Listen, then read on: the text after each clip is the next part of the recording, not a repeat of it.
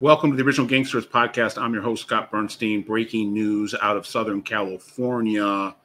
Little Dave Santillan, the former international boss of the Mongols, um, ran Mongols Nation for a decade and a half, unceremoniously dethroned back in 2021. We can get into that in a second. Has been arrested for an attempted murder in Pasadena this week uh, I guess he stabbed somebody with a box cutter, uh, and he's being charged with attempted murder.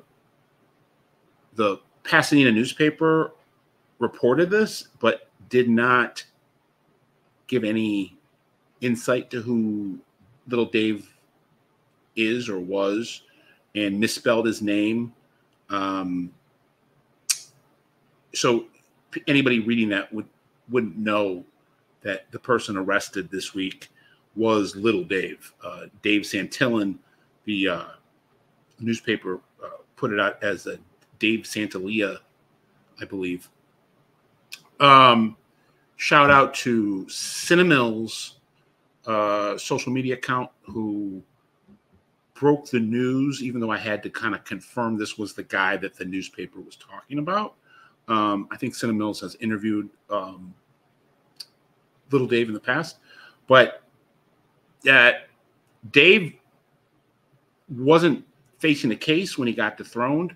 Um, it was based on like a, a civil racketeering situation with uh, a conflict over the logo and whether or not the group was considered a continuing criminal enterprise and he um, was painted in a bad light by some people that did not like him in the club and uh, was marked a informant related to a a uh, like an iPhone video that his wife made uh, of a argument that they had gotten into, and he was drunk and uh, and uh, trying to get her back, and he made some comments that were perceived as him acknowledging that he had been an informant, talking about a guy named John. People believe that that John was an ATF agent. The government has come out and said that little Dave was not an informant. Uh, that John uh, uh, testified Little Dave was not an informant. Signed, an, signed a uh, affidavit that Little Dave was not an informant. So according to the government, Little Dave was never an informant. According to the club, he was and was uh, kicked off the throne and, and, kicked out of the club. Um, he before before his downfall, he was quite legendary, I would say. You know, a guy that came in and had a pretty heavy duty task in reclamating Mongols Nation after Doc uh, got busted and, and flipped and um, things were in shambles. And little Dave came into leadership in around 2008 and um, brought a lot of pride and um, brought a lot of ingenuity into the, into the leadership. Went out and started rebuilding the brand, if you will, um, going into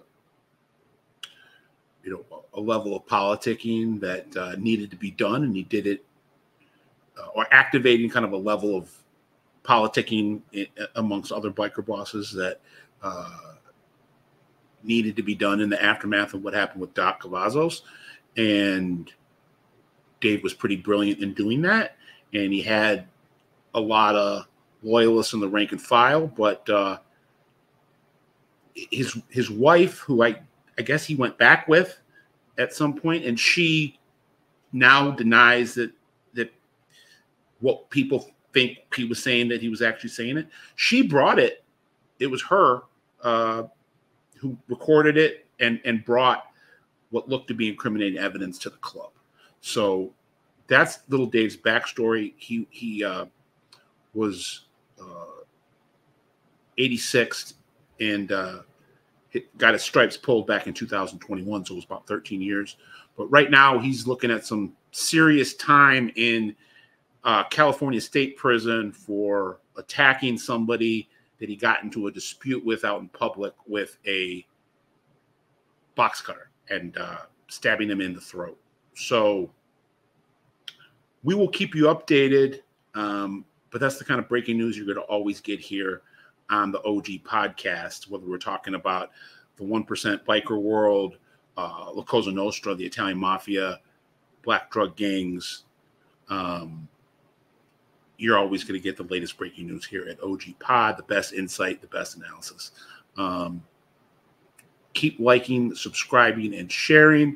Uh, share the word, spread the word, like, subscribe. OG Podcast, the Original Gangsters Podcast. Check out our Patreon, uh, which is a little bit more story driven, a little bit more analytical, um, some non OC stuff that we got going there. And then check out our companion web magazine, The Gangster Report. I'm Scott Burnstein, OG Pod.